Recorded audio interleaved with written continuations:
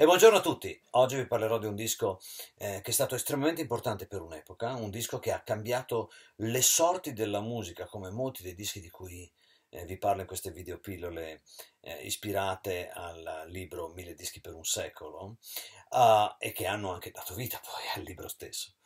Eh, questo disco è un disco del eh, 1964 che è uscito per Blue Note e, e nello specifico parliamo di Out to Lunch di Eric Dolphy. Out to Lunch di Eric Dolphy. Questo è un discone, eh, ragazzi, un discone super. Come già dalla copertina lo vediamo con questo. Siamo fuori a pranzo, ma siamo veramente fuori con questo orologio che segna più ore contemporaneamente.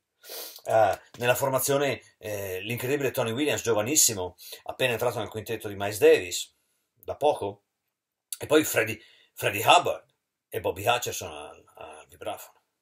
Eric Dolphy qui eh, dà il meglio di sé come compositore, come eh, organizzatore sonoro, sia che sia il flauto, sia che sia il clarinetto basso, che al sax contralto, riesce sempre a stupirci con delle trovate, con il suo stile angolare, pieno di eh, svolte improvvise. Eh, eh, effettivamente, come vi dicevo, stabilirà un nuovo modo di fare musica all'interno dell'avanguardia eh, jazzistica. E non solo di quegli anni, tant'è che oggi molte di queste anche avanguardie, pseudo-avanguardie newyorkesi e soprattutto, ahimè, eh, gli emuli europei eh, eh si rifanno proprio a questi modelli, con queste composizioni tutte ehm, inafferrabili per certi versi. Uh, e poi mo- molti tempi dispari, che era una cosa che per esempio eh, nel jazz si usava pochissimo, sì, lo faceva dei Brabeck, ma in una maniera completamente diversa. Qui, per esempio, non so, prendetevi eh, una composizione come, come, quella dedicata a Thelonious Monk, I Hat and Bird, eh,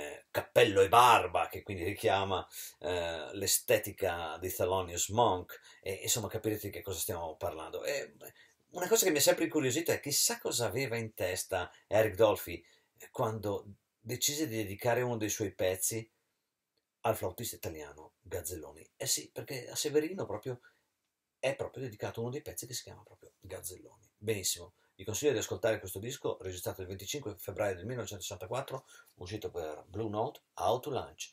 Siamo fuori, eh? Ma molto fuori. Ciao a tutti, condividete i nostri video, vi ricordo, canale YouTube, Facebook, tutto il resto, riempiamo il mondo di suoni mai sentiti. Ciao a tutti.